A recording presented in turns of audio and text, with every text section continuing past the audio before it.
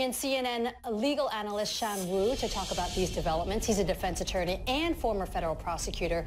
Uh, Shan, thanks so much for joining us. Now, if Brett Kavanaugh is confirmed tomorrow, this court will move further to the right. So what issues this session will you be keeping your eye on? Well, I think not only is it moving to the right, but it effectively eliminates the swing vote. And I think front and center, what we want to watch for is, frankly, whether there'll be a frontal assault on overturning Roe versus Wade. Now, it makes sense that these may come not so much in a direct assault on it, but in minor restrictions that'll happen. And basically, you'll look for states to be more bold in their restrictions on abortion and look for the court to essentially back that up. Um, other issue, uh, very high on the priority list would probably be the affirmative action issue and the court will be looking at probably limiting um, that sort of effort that has gone on in the past. I think generally in terms of um, the issue of gay marriage, I don't think that's going to take a frontal assault. But there's probably going to be more, again, aggressive test cases where different businesses, as we saw in the baking case, um, different business owners may try to take a stand that they have a right to essentially discriminate against gays. But I think the marriage aspect itself um, should be safe. Uh, and the only other area that could be a hot area might be for the uh, campaign finance issues. I'm sort of further loosening any scrutiny on that.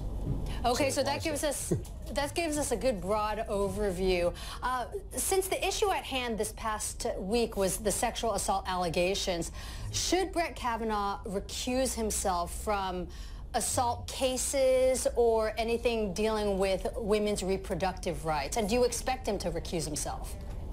I would not expect him to recuse himself. The, the whole recusal issue um, for U.S. federal judges is very much dictated by their own conscience. Now, on the Supreme Court, it's possible that other justices might apply some pressure. Certainly, the Chief Justice is always going to be very concerned with the court's public um, impressions. And so if there was a case where they felt that he might need to recuse, he might face some internal pressures. Frankly, that's far more likely if there's a politically hot case because part of the controversy over his confirmation hearings was the fact that he was very openly partisan, uh, even to the extent of you know looking like he was attacking um, the Democrats and liberals. So I think that could be a concern.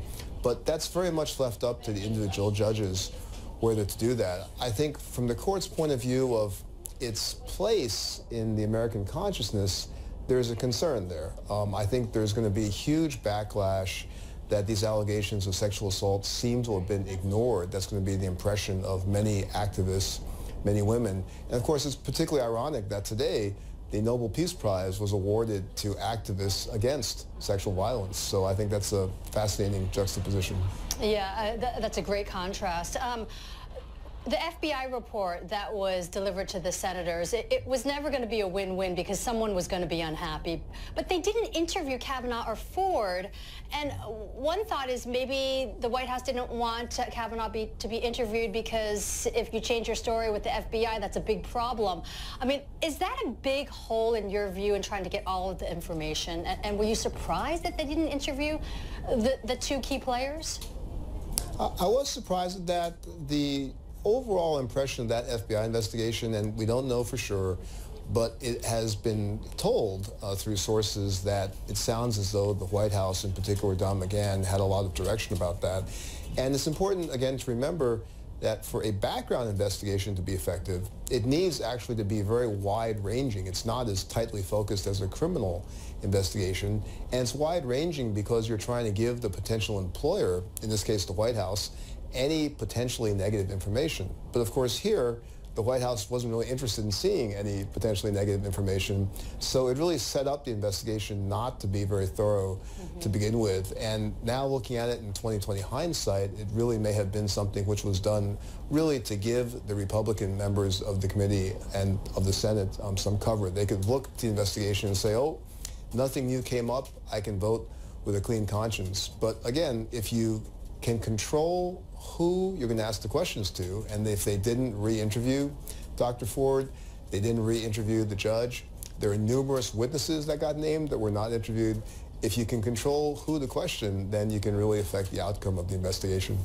And uh, we know that that already is a point of contention. Shan, thank you so much for joining us. Shan Wu, CNN legal analyst.